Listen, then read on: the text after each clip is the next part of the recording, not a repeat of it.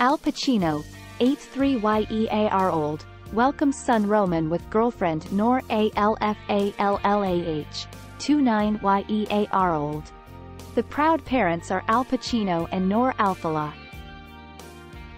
Al Pacino and Noor Alfallah have welcomed a son, named Roman Pacino, Pacino's representative confirmed in a statement.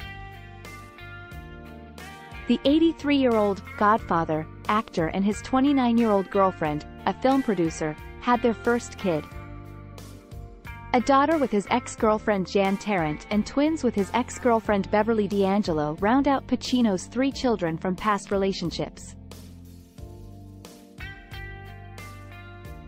Pacino and Alfallah have been dating since 2022. The first image of the couple to appear on Alfallah's social media feed was a picture of the two taken in April while they browsed a friend's art gallery in New York.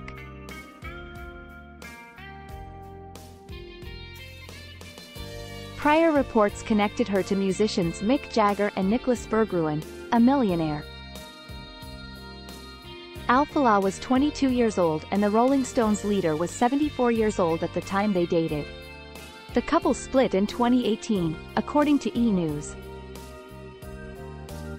The aspiring entertainment business professional said it didn't matter that they were 52 years apart in age.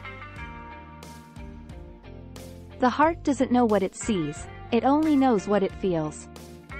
It was my first serious relationship, but it was a happy time for me, Alfallah told Hello! magazine.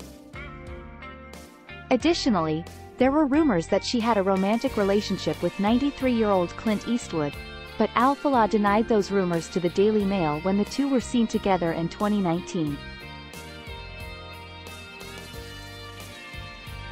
There is no relationship. We're not dating, she told the outlet at the time. We're family friends, and my family was there and that's it. My parents were there. Other friends were there. Trust me there's no relationship. D'Angelo released a few unheard of pictures of her kids last month and talked about her unique connection with Pacino. My story with Al began 27 years ago, two artists meeting, falling in love.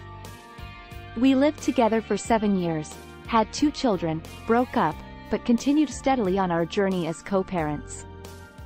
And came to share our lives with a deeper kind of intimacy, honesty and acceptance than a traditional relationship would have allowed, for us at least. D'Angelo captioned a video montage. Although D'Angelo acknowledged being deeply in love and 100% in, she never wed Pacino. Olivia and Anton, twins, were born in 2001, and they divorced in 2004. As for me and Al, it is a unique and profound friendship between two artists that endures to this day, through thick and thin, 27 years now of doing it our way. And there you have it, she said.